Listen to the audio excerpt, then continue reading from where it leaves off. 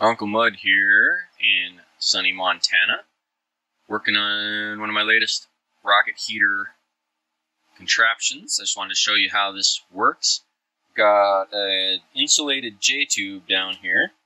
Got a feed tube there, and a fire brick and ceramic board insulated burn chamber down here with some metal underneath in case it gets hot. It'll keep it cool on the floor. And we have a 48 inch tall riser. This is a 4 inch system. The exhaust comes out here and into this bin full of pea gravel. See we can see in there. There's about an inch of pea gravel in the bottom of here. Still cool to the touch. I've been burning this for about an hour. The uh, but this pipe is nice and hot. The pipes go through pea gravel surrounding uh, a stack of this really dense local rock. Uh, that rock stores up the heat and slowly releases it, and the pea gravel acts as a little bit of an insulator. I got my hand underneath the, the these wooden box here stores the heat, but there's a space under here and behind there to allow air to circulate so it doesn't get too hot in there.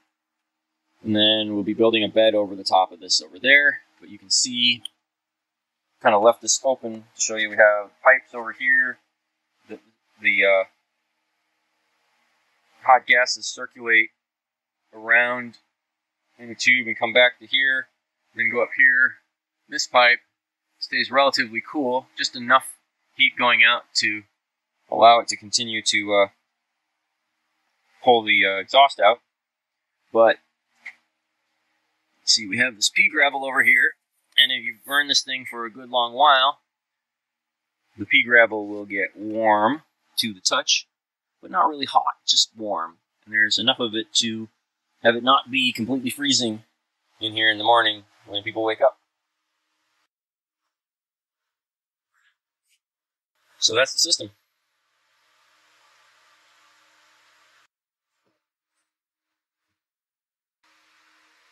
I give you a relatively complete view of this.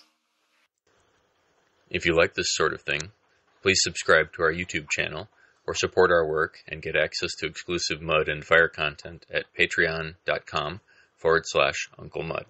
Thank you.